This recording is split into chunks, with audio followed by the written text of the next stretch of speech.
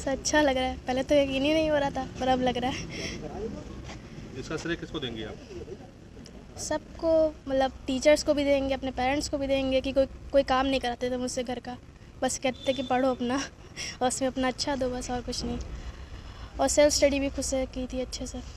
Sir बहुत अच्छा लग रहा है सब लोग बहुत तारीफ़ कर रहे हैं परिवार में भी सब लोग खुश हैं। क्या कहना चाहेंगे क्या बनना चाहेंगे? सर अब आगे तो नीट की तैयारी करना चाहते हैं। बस यही। आप सबका आशीर्वाद और बस इसी की कामना। तो सर श्रेय तो सिर्फ़ गुरुओं को ही देते हैं क्योंकि गुरु ही एक ऐसा मार्ग है जिसकी वजह से ही शिष्य आगे बढ़ सकता है। वरना तो एक बेकार सा एक बच्चा ही रहता है। उसको उसके माता पिता ही पहले गुरु होते हैं उसके बाद से उसको जो स्कूल की शिक्षा मिलती है वहाँ जो उसको गुरु मिलते हैं और जैसा व्यवहार उसका रहता है सब उसी को उसके डेवलपमेंट में ही यूज़ किया जाता है और उसी से वो डेवलप्ड होता है।